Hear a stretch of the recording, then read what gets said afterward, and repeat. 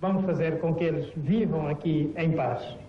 A reconciliação de Agostinho Neto transita para o regime de José Eduardo dos Santos, mas continua a não ser aceite. Agora, as posições parecem inconciliáveis e a prática dos últimos meses demonstra mesmo que talvez o sejam completamente. Um frágil cessar-fogo durou pouco mais de um mês. Propostas transmitidas por Mobutu Sese Seko levaram a tremendos equívocos diplomáticos que fizeram retroceder todo o processo de paz em Angola. Para já, a situação continua crispada. Hoje, dia em que José Eduardo dos Santos assinala uma década de poder em Angola, Savimbi prepara-se para receber na Jamba dezenas de convidados vindos de todo o mundo para, naquele sistemático desafio ao governo angolano que é a sua capital provisória, realizar mais um congresso do seu partido.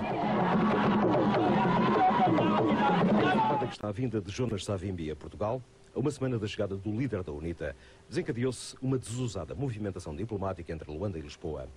Tudo isto indicia que o regime do MPLA atribui particular importância à visita de Savimbi a Portugal e ao facto do governo português autorizar a entrada do dirigente da oposição armada angolana. É assim que o secretário de Estado Durão Barroso é convidado a visitar a capital angolana para uma ronda de conversações. A visita começa por ser a convite do ministro dos Estrangeiros angolano. Acaba por concretizar-se como sendo a convite do próprio José Eduardo dos Santos, dizem de Luanda. Não menos importante é o facto do presidente de Angola ter aceito participar num programa da RTP em direto por via satélite. O dirigente do MPLA decidiu aceitar agora este convite que já lhe tinha sido feito há vários meses. Enquanto tudo isto, as conversações entre a UNITA e o MPLA estão numa fase de impasse. O MPLA pressiona Jonas Savimbi com uma ofensiva militar em larga escala dirigida contra a área da Jamba. Enquanto em Luanda é anunciada a rejeição da proposta de paz de Mobutu Sese Seko, que em termos práticos equiparava a importância política os dois movimentos angolanos e nessa base estabelecia o cessar-fogo. A guerra na frente de Mavinga parece estar a atingir grande intensidade, mas não há relatos de fontes independentes.